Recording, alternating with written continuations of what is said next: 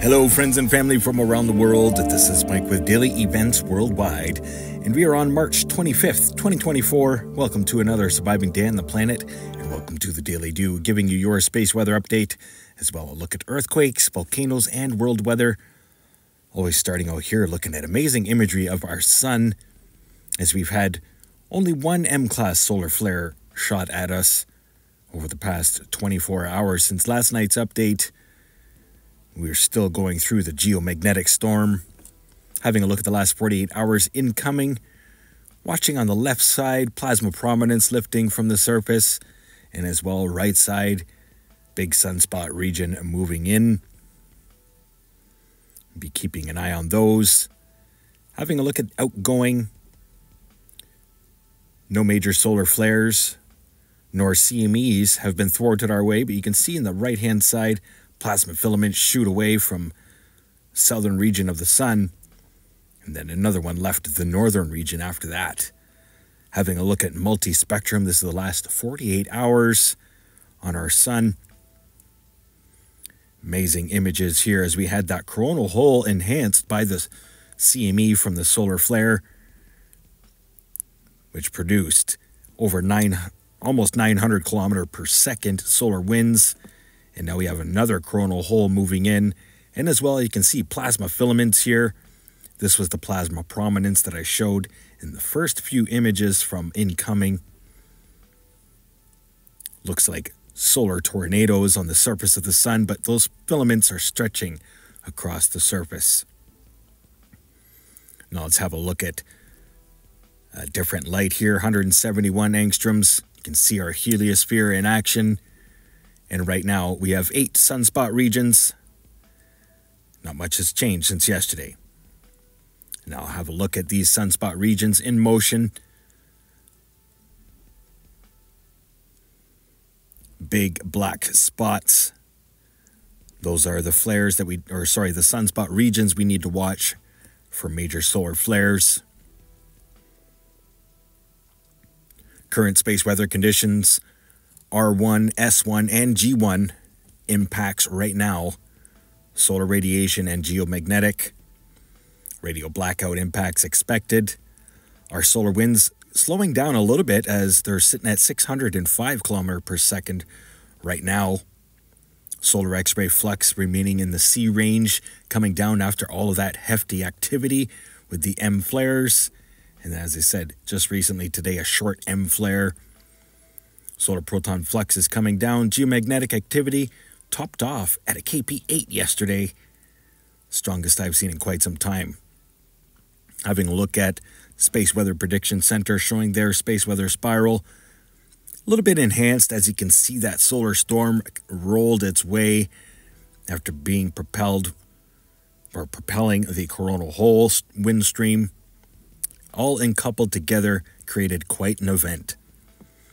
ISWA Space Prediction Spiral showing CME taking off, outgoing, and that was the same CME that I showed yesterday. So no new CMEs to report just yet, but having a look at LASCO 2, you can see most recent CME taking off from the left-hand side, incoming. LASCO 2 here, still showing all that interference and cosmic energy from the solar flares. And then recently did have a CME coming from the southern region of our sun, which we'll see here. Very dense plasma associated with that in a southward fashion. There's the most recent CME from ISWA. And then on the left hand side, you're going to see the last few images there, small CME projected. Now let's get to earthquakes past 24 hours. As you can see, we've had two very deep earthquakes the past 24 hours. One of them occurred last night, and the other one today. Here's today's the 4.7 Argentina, Tacopica, Tacopaza, 560 kilometer depth, 5.5 earthquake here, Mid Atlantic Ridge. 5.5 earthquake here, Macquarie Island region, south of New Zealand. So, two largest earthquakes today, 5.5s. And then our deepest earthquake past 24 hours, 4.8 Fiji region, 594 kilometer depth, and that occurred last night. Residual and normal activity across the Pacific plate, I would say, right now. And then recently here, 4.9, southern Qinghai, China, South Tibetan Plateau. Quiet across the African plate and Europe. Kamchatka here with a 5.1 off the coast of Kamchatka. Quiet through Alaska and quiet through the North American plate as only reporting 180 earthquakes past 24 hours right now, USGS. Quick glance here at the last seven days for shakers around the world. Take a quick moment to thank you all for tuning in and welcome to the channel.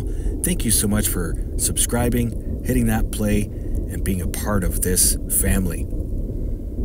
Showing here the last seven days of earthquakes, largest being the 6.9 that struck Indonesia just a couple days ago, after an earthquake warning from Daily Events Worldwide. Heads up, North American plate, still expecting something up into the Cascades and Alaska. Having a look here at the SO2 forecast, are seeing a few changes here today. Very thick plume coming out of Mexico from most likely Popocatépetl, large eruptions there overnight. But still, heavy particulates across the northern hemisphere from the Iceland volcano, which has been erupting since March 14th. 11 days straight now. And there seems to be two cones now that are mainly distributing all of the lava. Having a look here over Southeast Asia, Australia, and South Africa sulfur dioxide emissions brought to you by our 45 erupting volcanoes across the world. As well notable here, new plume across parts of Colombia, Brazil. There's not many known volcanoes through the region there, so I'd be interested to find out exactly where that came from. Overlooking Europe, heavy particulates especially northern and eastern Europe. Iceland volcano, North Mid Atlantic, there. Much love, everybody, and I appreciate you being a part of this channel. Welcome to this journey. Pretty epic indeed. Now let's get to weather here, brought to you by windy.com and daily events worldwide. We do have a low that's whipping across the central United States and up into Canada which is set to bring blizzard like conditions and heavy snowfall to northern Ontario. Long range forecast, big system coming into Washington and then heading southward. At the same time, you're going to see blizzard like conditions across the Atlantic provinces. Big high pressure ridge and low pressure coming from Alberta in the long range. We could see some snow in the long range forecast, eastern Canada, but most of western Canada prairies, and western United States, you still have forecasted snow for the next six days. Overlooking South America and Africa, still have an intense low pressure system grinding across east coast of Madagascar, and as well some strong lows that will be making their way onto land through Argentina overlooking Europe, Southeast Asia. Strong lows coming in this week.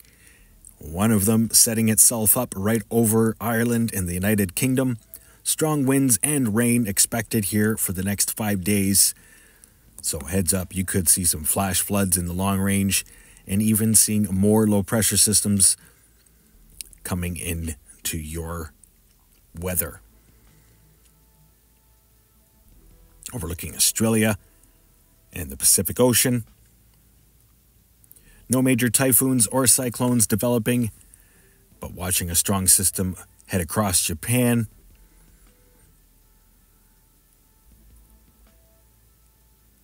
And then a low pressure system here affecting New Zealand, and low pressure system heading down into southeastern parts of Australia. Much love, everybody. Thank you for over 72,000 followers. Stay aware and prepared, stay young and have fun, and get your daily dew. Bye bye now. If you enjoyed today's video, please hit that like button, subscribe, share with your friends and family from across the world.